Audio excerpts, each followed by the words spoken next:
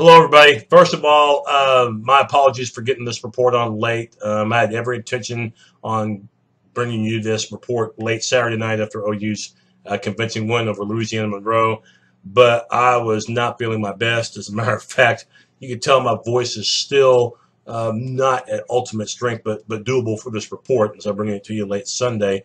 Um, you know, almost 24 hours after the Sooners beat Louisiana Monroe 59-17. It was expected to be a blowout, and the game was decided pretty damn early. Um, I will talk more about the game in a second, although there's really not a whole lot to say about um, a game in which one team was expected to beat the other one uh, by about 45, 46 points, and it almost ended up being that. And we'll talk a little bit about um, Ohio State. Of course, I'll have a big report on Oklahoma, Ohio State, middle of the week. But naturally, um, before we talk about the, uh, what happened between the Sooners and the Warhawks, the atmosphere was something else on Saturday night. Of course, the first game for the Sooners at home since the renovation, uh, the big time renovation on the south side. You could tell if you saw the game on TV or if you were there in Norman um, what a difference it makes. I guess you really had to be there uh, because of the noise factor. Obviously, now it's going to be an even louder stadium because the Southwest and southeast corners are now closed, and it's a bowl shape all around the stadium, not just most of the stadium, but completely around the stadium. And with the renovations of having those corners filled with more seating, and of course the fan zones and that bowl shaped atmosphere, the noise now doesn't leave the corners of that end zone. They stay inside the confines and make it an even louder environment. And hopefully that'll play into the Sooners' advantage for future home games, especially the one coming up in just a few days on the 17th against Ohio State. But uh, before I talk briefly about the Sooners and Buckeyes, uh, just to talk about the Sooners and Louisiana Monroe. Again, this was one of those games where you knew the Sooners were going to win. They were going to win big. It's just a superiority advantage as far as speed, as far as especially size, um, strength, and depth. Okay, and coaching for that matter either. Um, it was just a ball game where you knew that the Sooners would win big. But the big thing you wanted to see was number one balance, and that's what you got. Um, you know, at, by halftime, the Sooners had over 200 yards rushing and over 200 yards passing. Baker Mayfield was absolutely sensational. But then again, the offensive line was sensational. And this was also a game, too, where you can afford, if you're Lincoln Riley on offense or if you're Mike Stoops on defense, to dabble with the lineup, even at the beginning of the game. For example, Dru Samia, you know, we know he is the right tackle for the team, but he was actually right guard for, for most of the game in the, in the first half. Um, he played right guard, and then they moved um, Bobby Evans to the uh, tackle position where he got his first start.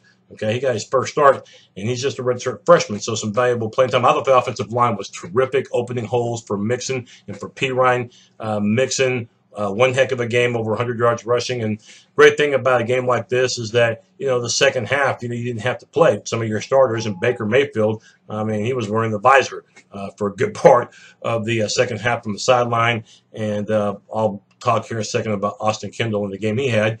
Uh, but offensively, solid. You know, receivers got involved. Um, again, you know, Mark Andrews. You know, he doesn't catch very many passes, but when he does catch one, it's going to be a touchdown. If it's not a touchdown, it's going to be one for plenty of yardage, and he certainly delivered. In fact, the Sooners were up 21 nothing before the first quarter ended. It was 42 nothing at halftime.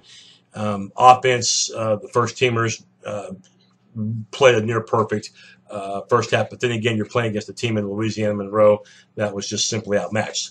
Um, looking at the defense, uh, I thought the defensive line was uh, pretty good. matter of fact, if you, if you look at the defense, they had some uh, some new starters in the game as well. We saw Kapri Doucet start at linebacker. We saw DJ Ward, you know, who's who's you know he's seen action for the Sooners, but he was a starter at defensive end. Uh, there was no Will Johnson though. Will Johnson did not uh, did not play, and I don't know if it was an injury or discipline issues. I never found out. I don't think anybody from the media, at least not uh, not after the game on Saturday, knew why he didn't play. Um, of course, you got to have him against uh, the Buckeyes coming up on the 17th, but uh, he didn't play. Um, but there were some good performances. I, I, thought, you know, Jordan Evans was everywhere. I, I thought Jordan Evans played a hell of a game. Uh, Charles Walker, you know, in the first half did some good things, although uh, they did have to tend uh, to an area behind his knee. They put ice on it. And anytime ice goes on in, any part of your body, that could be an indication that uh, you may not be coming back into the game. And of course, you got the game in hand anyway against the Warhawks. So, you know, Walker, um, his night was pretty much uh, pr- pretty much done um, after the ice was applied. But still, remember early on when the Sooners led seven nothing, um, you know, and the Warhawks, you know, were uh, getting some uh, decent plays as far as the passing game going against the Sooner secondary that's still having some issues. But on a third and short, you know, Walker blew up a play and uh, made it fourth down. Of course, the center defense took care of the rest with Evans with, on a breakup. So, uh, first half for the defense, yeah, there were uh, some things that they've got to work on. Again, the, the, corner situation, I'm still not very comfortable with. Matter of fact, um, Dakota Austin, we know that uh, he was the projected starter this year, started last week against Houston, had a bad game, and the Stoops brothers were not kidding, especially Mike when they said that that position is wide open. So, first half, uh, not only does Dakota Austin not start, he doesn't play at all in the first half, and Parrish Cobb does play. I thought that he had an average game. At times looked good, but at times um, he got beaten, of course, in the third quarter. There was a communication mix-up in which led to Louisiana Monroe's first touchdown, in which nobody was near the wide receiver. And again, that was just a that was just a coverage mix-up right there. Um, we saw Wolf um, Sunderland get some action in at safety. Also, to Michiah Quick at the corner position. A bit of a struggle for him um, on Saturday night. Um, and we also saw uh, Parnell Motley play at the corner position. So this is a game where you can not only you know get a rotation in uh, as far as whatever area you want, but uh, you can make those guys play um, get get valuable playing time as well. You know, early on. I mean, it wasn't one of those games where you just play the first teamers the whole way, and the second half you sit them all out and you play the second teamers the second half. The second teamers were getting action in this game early, and I thought that was pretty important, uh, and getting them a little bit of experience. So you're, you're looking also at um, a, a, defense that um, I thought was, was pretty physical up front. I thought the defensive line played really, really good. I, I, thought they really came ready to play. And we saw Caleb Kelly, the freshman at linebacker, you know, getting in on some action, and also at the uh, defensive end spot, um, Amani Bledsoe, the freshman out of uh, Lawrence, Kansas. So this was a game that you know it did feature the veterans doing what they, what we thought they would do. Mayfield was terrific, of course. Perine and uh, Mixon likewise, but also too some of the newer guys as well. And how about you know Nick Basquine, the walk on, you know from Norman North, you know getting that long touchdown. Um, in the second quarter, good for him. So this is a game where you, what you're trying to do, because you know you're going to win big, you want to improve on the areas from last week that were giving you struggles. Third downs, obviously, were a pain in the ass last week for the Sooner defense. Of course, you're not playing against Houston again last night in Louisiana Monroe, but that area improved as far as uh, third downs, and and that's an area that I think the Sooners can feel a little bit better about. But now you put the game behind you, okay? And and by the way, one more thing too.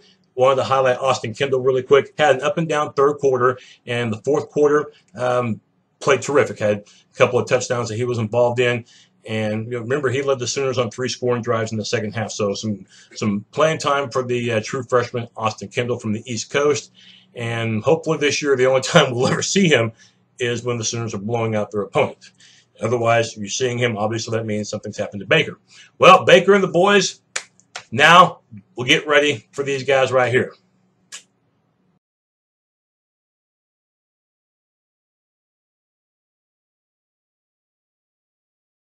Yeah, I could already envision the traffic nightmares that will be at its ultimate highest in Norman, Oklahoma on Saturday.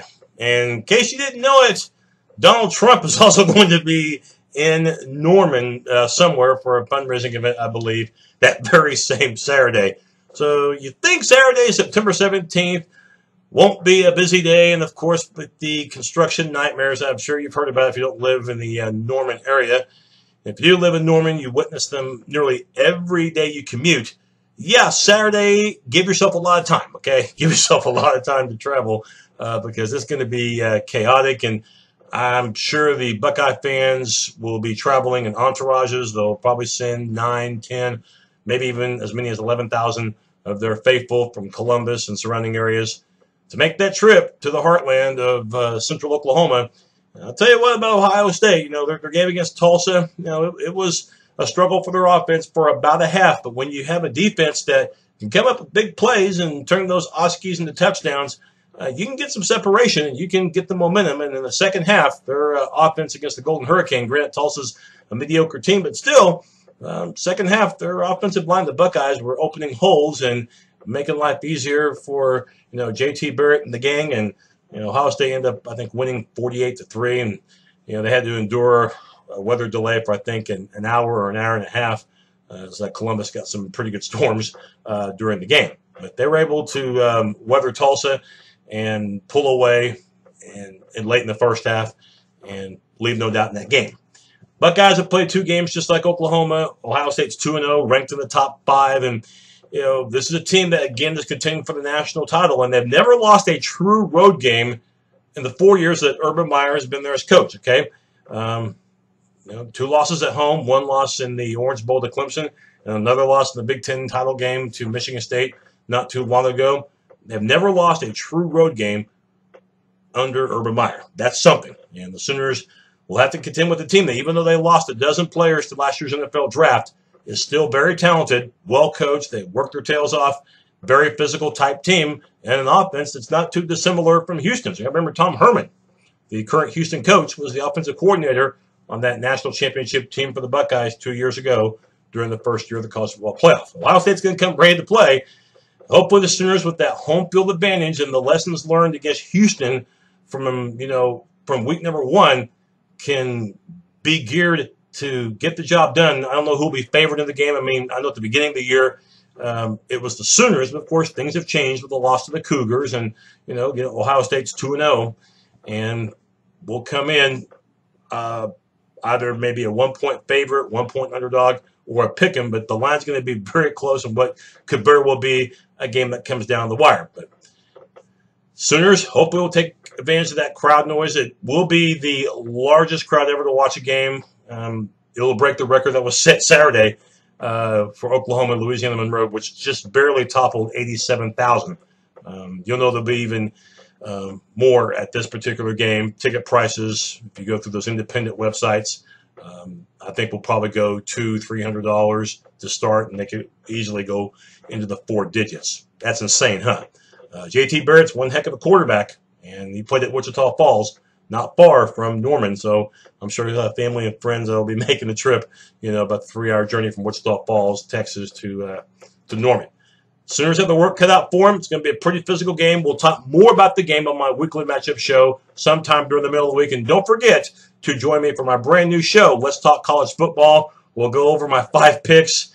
Uh, I've had better picks than the ones I had this past week. Won some, but but uh, lost some too. And I'll have my uh, good, bad, and the ugly nationwide as far as teams this past week, and my thumbs up, thumbs down, thumbs off for Big 12 teams as well. Sooners win impressively over Louisiana Monroe, but then again, we thought that was going to happen, and we'll see uh, what will happen um, entering this game as far as the injury situation with uh, DJ Ward in the shoulder and Charles Walker and the uh, the knee. Hopefully, they're ready to go. Hopefully, Will Johnson um, will be ready to go too.